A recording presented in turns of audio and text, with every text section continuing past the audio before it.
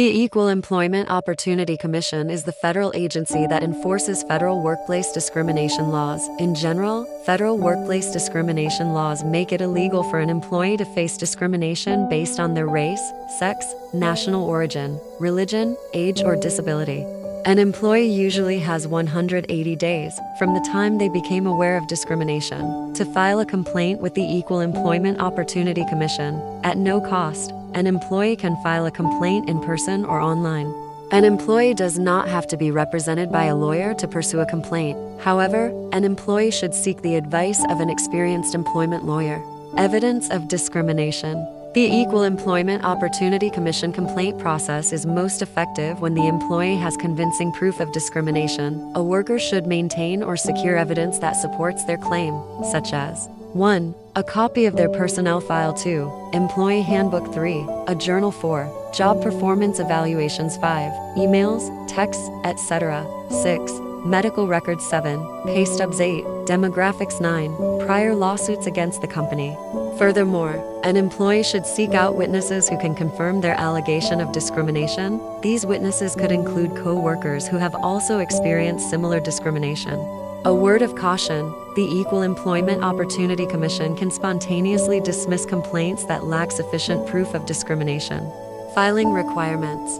The complaint must meet the definition of discrimination as defined by the Equal Employment Opportunity Commission. The company must employ 15 or more employees.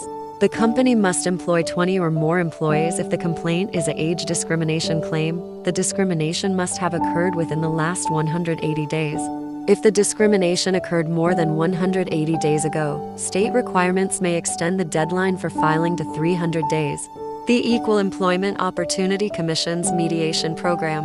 Early in the complaint process, the Equal Employment Opportunity Commission will offer the employee and the employer an opportunity to participate in its mediation program, provided the claim appears to have merit. The employee and the employer must mutually agree to participate in the mediation program. According to the mediation statistics FY 1999 through FY 2020, from 1999 through 2017, over 212,500 mediations have been held and over 153,400 charges, or over 70% have been successfully resolved. At no cost. The mediation program provides a professional mediator who will facilitate settlement negotiations between the employee and the employer. The mediator is neutral and does not provide legal advice or decide who is right or wrong. Mediation generally starts and finishes in one day. Typically, the employer agrees to pay a sum of money in exchange for the employee dismissing the complaint. The mediation program has a high rate of success in achieving settlements.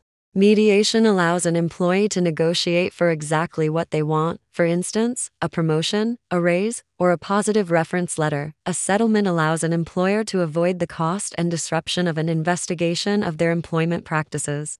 At any stage of the complaint process, the employee and employer have the option of participating in the mediation program.